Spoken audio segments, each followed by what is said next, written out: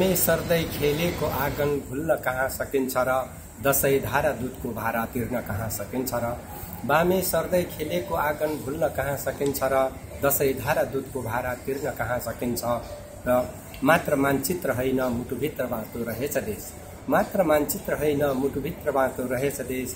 कर्मथलो Hong Kong भए नि जन्मथलो भुल्न कहाँ सकिन्छ र बामे सर्दै खेलेको आँगन भुल्न कहाँ सकिन्छ र। नमस्कार म रामकाजीको नै अध्यक्ष नेपाल मुक्तक प्रतिष्ठान।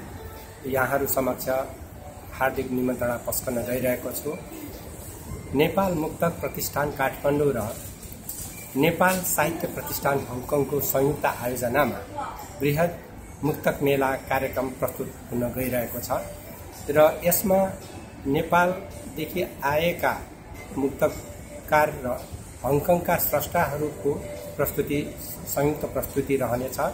र यस कार्यक्रमलाई सफल पारिदिनु हुन सम्पूर्ण हङकङवासी स्रष्टा एवं नेपाली दाजुभाइ समक्ष यो अनुरोध गर्दछौँ कि हाम्रो त्यस कार्यक्रमलाई सफल पारिदिनु हुनेछ यहाँहरूले भनेर।